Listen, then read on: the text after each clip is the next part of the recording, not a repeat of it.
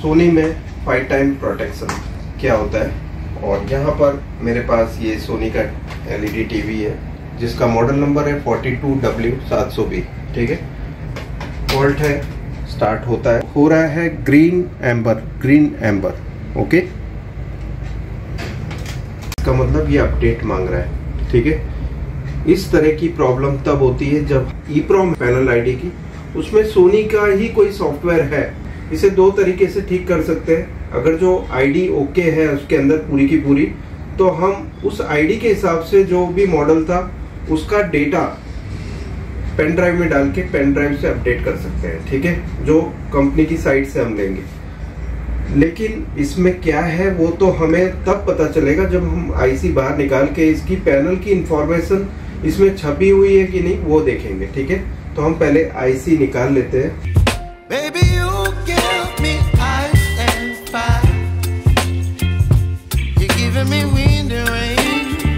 टिकॉन में दो आईसी है ई प्रोम एक ये है और एक ये है।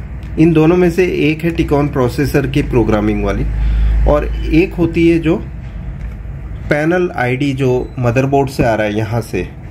इसका कनेक्शन कौन सी आईसी के साथ है वो देखने का तरीका मैं बताऊँगा पहले। कौन सी पैनल आईडी की आईसी है जो प्रोसेसर को ये इंफॉर्मेशन दे रही है कि इसमें पैनल सही है। ये है हमारी पैनल आईडी ठीक है.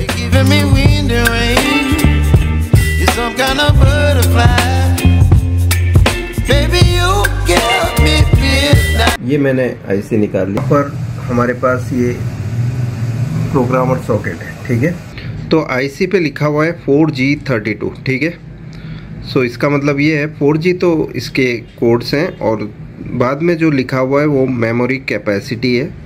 इसकी थर्टी टू किलो बाइट की कैपेसिटी है। देखो आईसी को हमने यहाँ इसकी पिन नंबर वन है, ठीक है? और ये डॉट है इसका फ़र्स्ट पिन का मार्क है, ठीक है? ये दोनों आमने सामने होने चाहिए, ओके? और यहाँ पर आप देख सकते हैं, मैंने डेटा केबल पीसी के साथ कनेक्ट कर दिया है, ठीक है? नीचे। और इसका ड्राइवर हमने इंस्टॉल किया हुआ होगा, तभी ये प्रोग्रामर डिटेक्ट हो पाएगा, वरना प्रोग्रामर कनेक्ट करने के बाद भी नॉट कनेक्टेड बताएगा, ठीक है? इस फॉल्ट के लिए हमने आईसी को प्रोग्रामर सॉकेट पे लगा रखा है और ये प्रोग्रामर का इंटरफेस ओपन किया है। उसके बाद हमें सबसे पहले स्मार्ट आइडेंटिफाई दबाना है। आईसी सिलेक्ट कर लेनी है 24 सी 32 मतलब 24 इसकी सीरीज़ है। ई प्रोम कोई भी ई प्रोम होती है, उसकी सीरीज़ नंबर होता है 24 उसके बाद जो लिखा हुआ होता है, वो मेमोरी साइज़ होती है। तो हमको 32 के बी सिलेक्ट करना है और ओके करना है हूँ, ठीक है? यहाँ पर रीड कर रहे हैं हम और एक फोल्डर के अंदर इसे सेव कर देते हैं। एक टेस्ट फोल्डर ठीक है? यहाँ पर मैं इसे सेव कर देता हूँ। और इसकी डेटा बफर चेक कर लेते हैं। तो देखो डेटा बफर में टी फोर ट्वेंटी एच लिखा हुआ है। इसका मतलब ये है कि पैनल नंबर पूरा है नहीं ओके इसके वजह से ये फाइव टाइम में नहीं गया ओके क्योंकि पैनल नंबर था और यहाँ भी कुछ डेटा होते हैं जो सोनी कंपनी मदरबोर्ड की जो प्रोसेसर है, उससे कनेक्ट करने के लिए एक कुछ इंफॉर्मेशन अंदर डाल देती है ताकि प्रोसेसर ये चेक कर पाए तो ये सारी चीज़ें चेक कर पाया प्रोसेसर इसलिए फाइव टाइम में नहीं गया। लेकिन पैनल नंबर पूरा नहीं था, इसलिए अपडेट मांग रहा था। ठीक है? तो अभी हमें क्या करना है, इसमें हम तो अभी ओके करके बाहर आ जाते हैं। और ओके सॉफ्टवेयर इसमें राइट करना है। ठीक है? तो ओपन कर लेते हैं। ठीक है?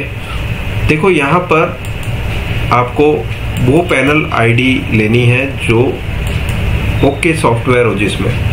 ओके ओपन कर लेते हैं। और राइट करना है। बफर हम जब देखते हैं तो इसमें पैनल नंबर पूरा आ गया।